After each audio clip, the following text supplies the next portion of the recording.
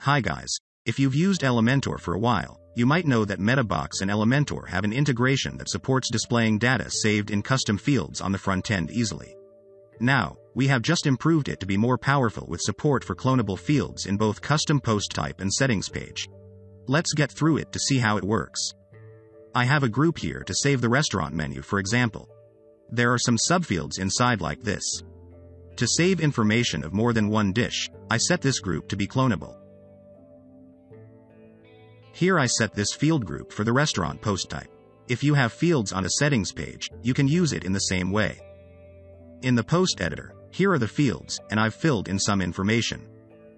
Because the group is cloneable, you can click this button to add more dishes here. Now, let's use Elementor to display all this information on the front end.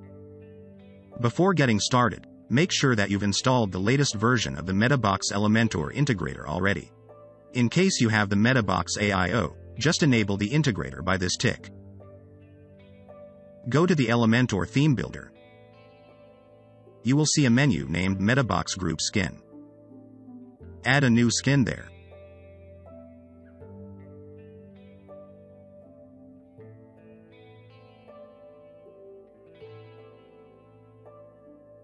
Just add elements for each kind of information, then add dynamic data from custom fields for them.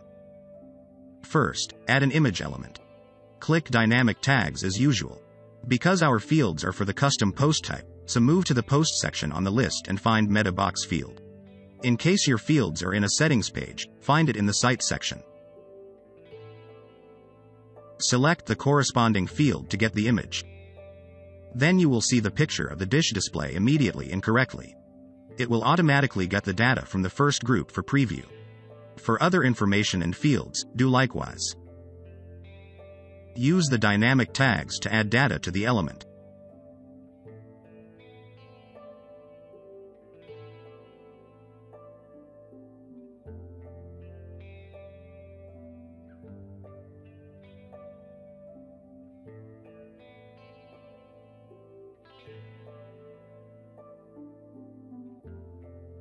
Back to the theme builder. This is the skin that we've just created, but leave it there.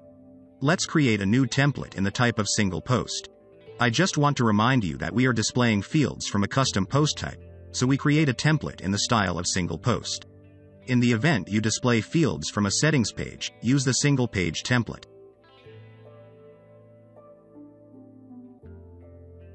Just name the template. And I'm setting the preview to the restaurant page.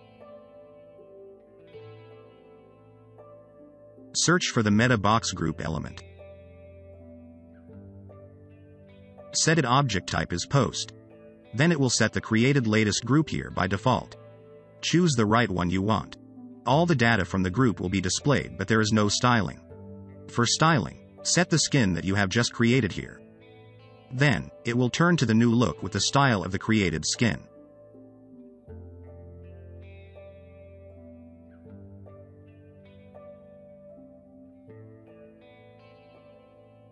On the front end, all the menu information will be displayed exactly as the preview. Now, you can go back to the created skin and style it a little bit. Here, I did it for example.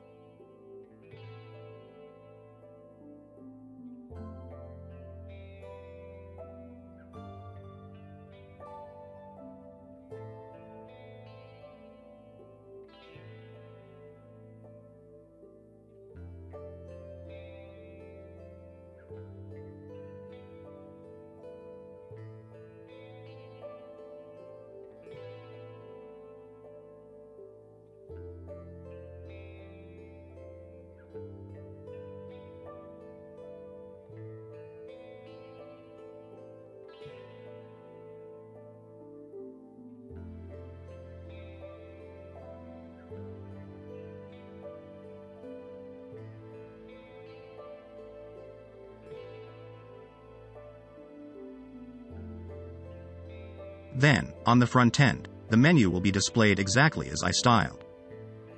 That's all for the new update. Please pay a heed once again that you can do the same for the cloneable fields in the settings page. Hope you enjoy this improvement. Thanks for watching and remember to like, subscribe and share for more upcoming interesting videos. Bye.